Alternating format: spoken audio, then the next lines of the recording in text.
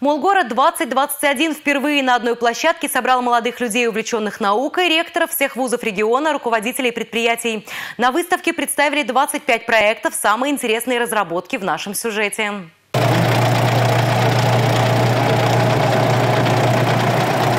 Беспилотный трактор – маневренный робот для перевозки грузов, терминал допуска в здание. Все, что вы видите на своих экранах – штучный эксклюзивный продукт. И самое интересное, что эти стартапы реализуют креативные, талантливые школьники и студенты. Представленные проекты отбирались для участия в самом масштабном молодежном форуме Приволжского федерального округа «Иволга-2021». Выбрали пять лучших.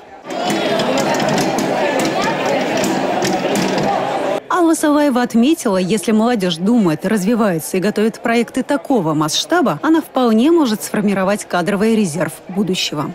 Современные изделия с национальным колоритом представила Анна Михайлова. На региональном этапе конкурса WorldSkills Russia она заняла первое место. Теперь собирается на национальный этап. Это эксклюзивная вот коллекция, потому что ее нигде нету.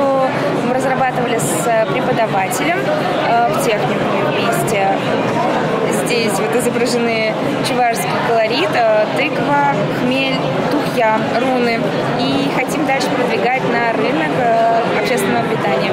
И уже ведутся разговоры, переговоры там с выше, министерством.